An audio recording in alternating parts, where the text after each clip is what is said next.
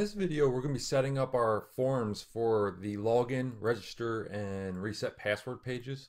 So what we'll do is we'll just go out to Bootstrap and copy and paste snippets that they have in there. And then we'll just change the text around a little bit and that's pretty much it. So pretty much we're just doing HTML work in this video and that's pretty, pretty much it. Uh, down in the description you'll find these links like usual and that that'll be the pages that I'm going to be referencing throughout the video. Uh, let's go out and grab that snippet out of Bootstrap. So if we go to Bootstrap and click on documentation and then click on components and then click on forms and then right here I was checking this out earlier. This looks great. Uh, we'll just change the text around a little bit and that's pretty much it. This will work perfect for us though. So just copy this and let's go and add this to our project. Start off inside of our login component. So inside the components inside the login open up the HTML and then up here, I'm going to create a couple containers to paste our uh, snippet into. So the first one will be the uh, row container. And this is a Bootstrap class, by the way, row. And then inside here, we'll create another container. Uh, another container. This is going to be our column. So column medium six. That should be like the uh, half of the width of the screen. And then also let's bump it off the side. So offset medium uh, three and then we'll also give it some margin. So margin top four, that'd be good. And then we'll give it this uh, document a title or a header. So I'll put that inside of an H3. And this is going to be our login page. And then below here, I'll paste it. And then all we need to do is change all our text around. This we'll just change to um, username login or login username. That'd be good and then change this to username.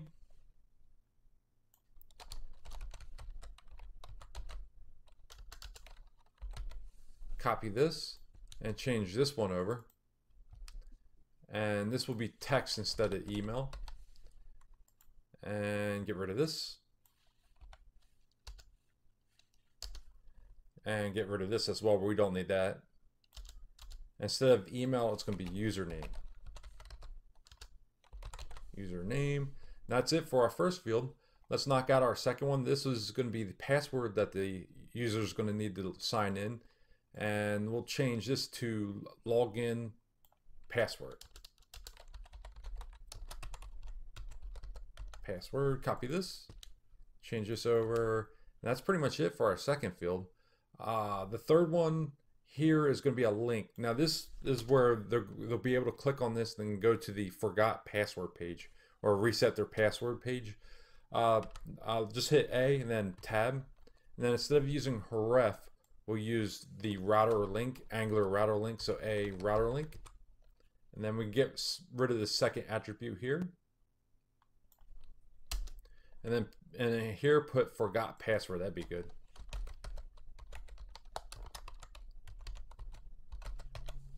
And that's pretty much it for here. Let's go out and get that address while we're here. I'll copy and paste it so I don't spell wrong. So open this up and the address that we're going to send the user to is this right here. Copy this and then just paste that in there. Okay, so we set up our forgot password link and then let's knock out the, the button here. So this is going to be login and then we'll add icon. I found these real nice icons for for these buttons. I, th I think they'll look really good. So if we go back to here and then open up this page here, copy this. This will look great inside that button. Uh, let's go back to our project and paste it in there. And that's pretty much it for our login form. Save this. Now keep in mind all these snippets will be down in the description. There's going to be a link called snippets. Just click on that and then it'll send you to a page and this be already made for you just the way it is now. And you can just copy and paste it instead of typing all this out. Uh, let's go knock out our register form. So uh, did I copy all this? So copy. And let's open up our register component.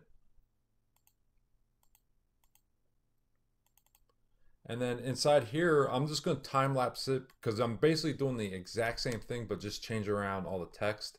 So I'll be back in one second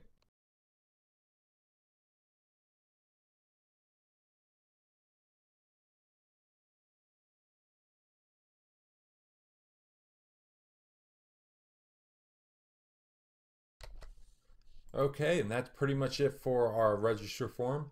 And I'm going to keep the same icon right here. That, that'd be perfect. So I'm not going to uh, enter in a second password field right now or create a second password field. Uh, we'll add that later on when we're doing um, form validation. We'll add a second password or confirm password field later on. But for now, that that works. So the user needs a username, email, and password to, to log in or create an account. Later on, we'll set up a couple more fields like a company name, things like that later on. But this will get us started. Let's save this, then Control All and and copy this. Let's knock out our last form. If we open up our third component, that is our reset password. Now this one's going to be real simple. This is only going to have one field.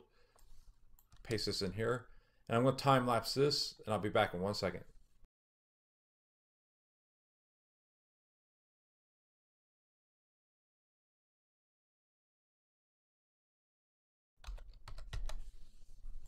Okay, and that's pretty much it for this form. And then we'll go out and get the other icon. I found a, a nice icon for this. This is a paper airplane. If we go here and this one right here, and that this looks really good because technically this is sending out an email.